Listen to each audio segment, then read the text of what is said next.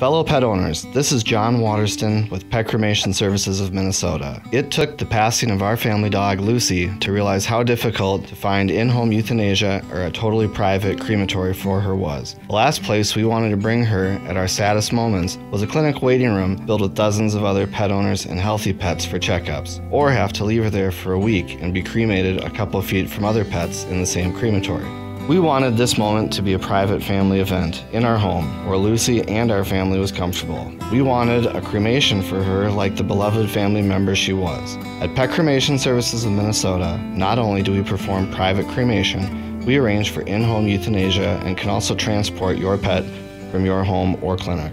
Once they're at our location in Edina, the cremation takes place 100% privately. The ashes are returned that same day in a nice wood urn inside a velvet urn bag. Learn more at petcremationmn.com. Your pet will be grateful you did.